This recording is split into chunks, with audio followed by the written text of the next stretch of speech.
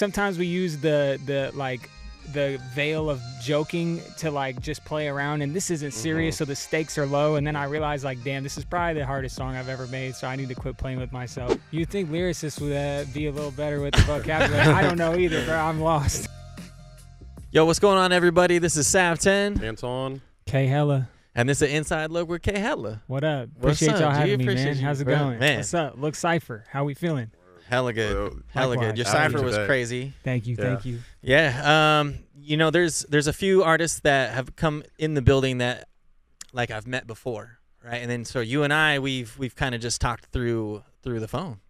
Right? Through Yeah. messages and then uh, a little FaceTime action. Yeah, it's crazy because we, I'm pretty sure we've probably been either in the same place or like just missed each other with like the Freestyle Fridays and stuff, but we just never actually met, just Yeah. all virtual. But honestly, I work a phone job 40 hours a week, and with COVID, like my brain doesn't really differentiate anymore. Like if I talk to you for more than five minutes, I just feel like I know you at this point. You know what I Yeah. mean? I think I'm the same way. Like, um, I was very comfortable meeting like even KK, and he's one of the artists that we literally didn't have any um, like connections with. connections or you know what's that degrees of separation is Yeah, that's what I was yeah. looking for. Um, you know, f- at all. So when he was in the building, it felt like I knew him. You know. Yeah, that's um, fine. and same same for you. Like you know, our our phone call was hella good, and and I appreciate you just just being you, bro. Hell You're yeah. dope. Likewise, man. I feel like uh, cool people attract cool people. Like uh, the cool thing about the music scene with rap is like the longer you stay in it. I've been rapping for so long now. It's like the only thing that ages me. But the longer you're in it, I just feel like you end up meeting genuine people because that's all Mm. that sticks around. You know what I'm saying? Yeah. Like most people burn out and just go do other stuff, which is natural. That's life. Yeah. But yeah, man. A lot of cool people in the rap scene in Mm. Sacramento for sure.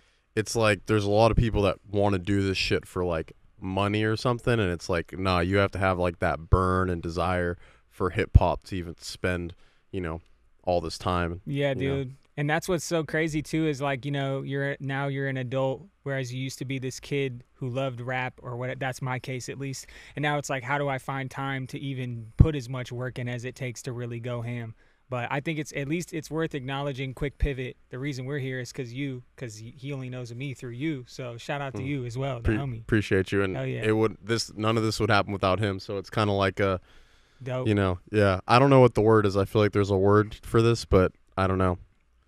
You'd think lyricists would uh, be a little better with the vocabulary. I don't know either, bro. I'm lost. There is a word for it, but I can't think of it right now. You know, I think um, I, I appreciate what you guys are saying. Absolutely. And I want to add one more party to this mix of this probably wouldn't have happened unless we met the folks at CSSB. Yeah, for sure. Jordan Yep, I wouldn't. and all the homies Without- over there. I think, Yeah. um, you know, Jordan is younger than me, but I still constantly am able to learn from everyone, including and especially Josh Jordan. Uh, that's my dog. Since day one, he was just like, how can I help? You know, I was like, well, uh, I make beats. Yeah, yeah. And then a month later, I'm in the studio with him three times, and we push out a little EP this year. And then Yeah. after that, was like, "Yo, I got an idea for a cipher. Have you ever heard of Team Backpack?" He was like, "Of course, I heard of Team Backpack."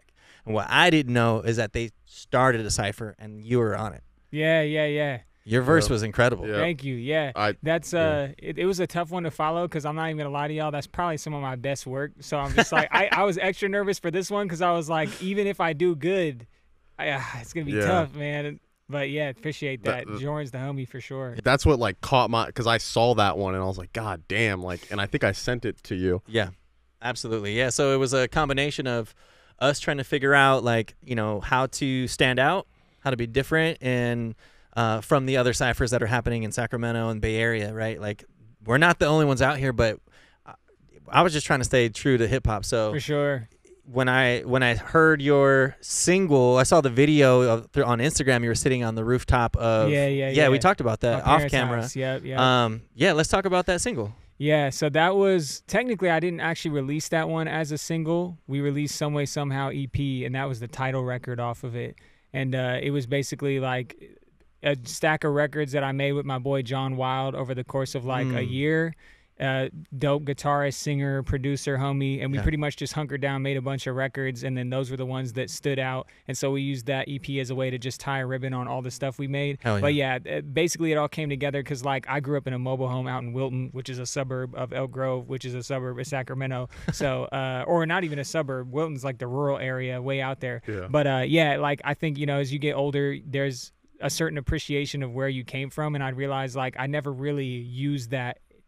As you, you know, for me, it's like the music is obviously a, a reflection of who you are. And when I was younger, it was always trying to fabricate something like it being more selective of my image. So for this one, I was like, I just need to bring it back to where it all started, and it felt Mhm. hella natural. And naturally, that's where people started reaching out to me. So I was like, okay, this was a good Mm. look. Absolutely. Absolutely. Can we talk about the music video for Kevin? Hell yeah. The first time I heard it, I ran it back five, six times in a Let's row. go. No cap at all.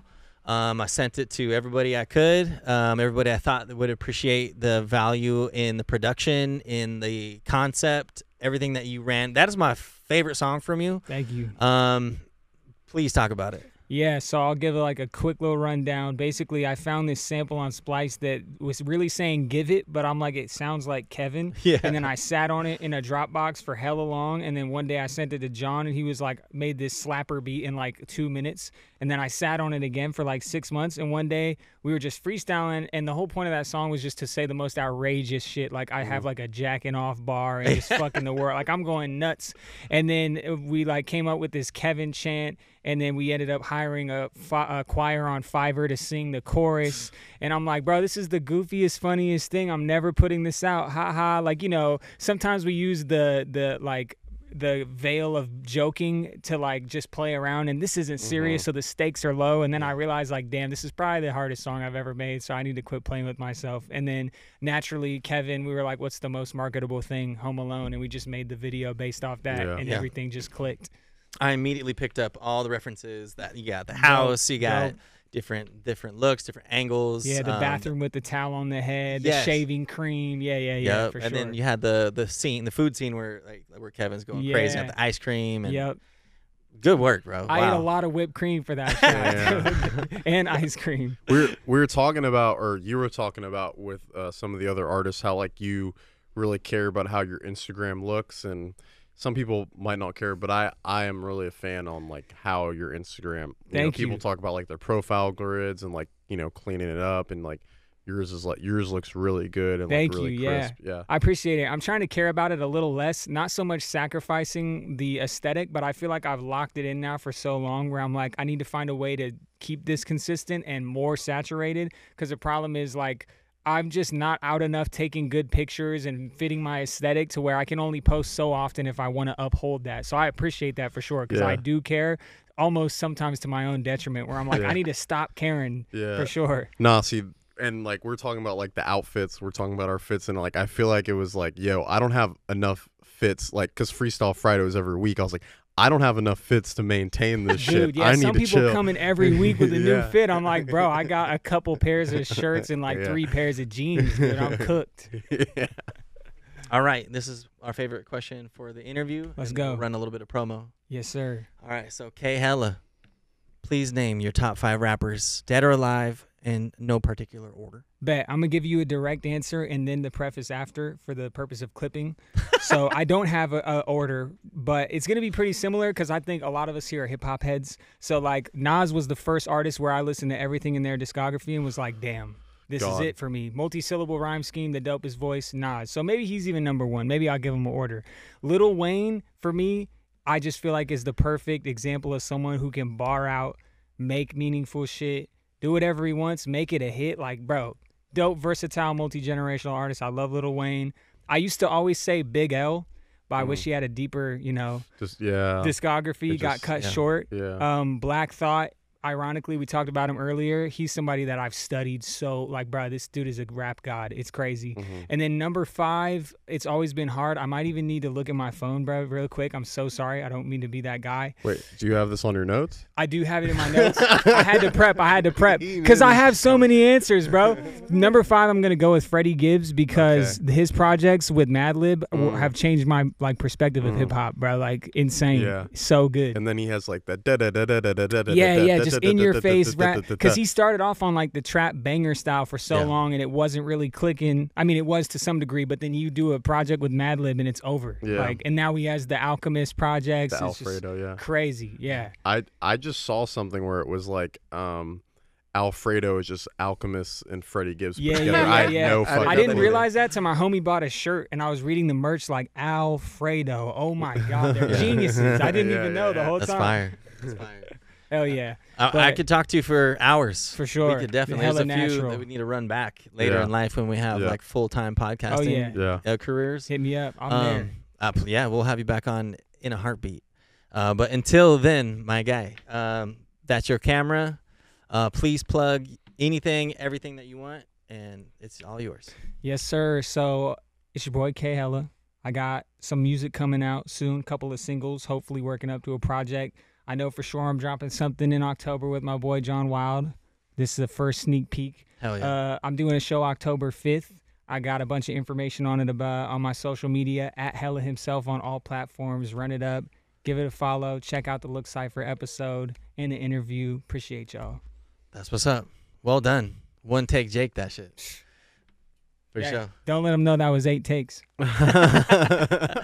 Oh man, incredible stuff, brother. I All right. appreciate Fire. you. Thank Am you. I, am I closing this or are you? Close it out. Close it All right. out. Shit. We'll dab Yo, up now. this is Anton. This is Sav 10. K Hella.